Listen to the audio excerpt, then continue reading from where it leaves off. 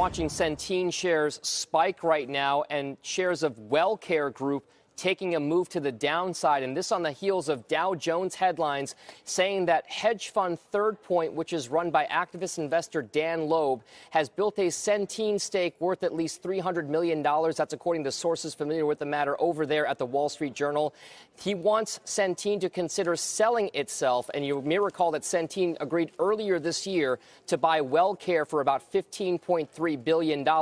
As a result of all of this, the shares are moving in reaction to those headlines. We are in the process right now of reaching out to both Dan Loeb and Third Point, as well as what's happening with Centene. We will let you know any details as we know them here. But that is the reason why, Scott, both of these managed care companies that deal mostly with government contracts are moving on those headlines.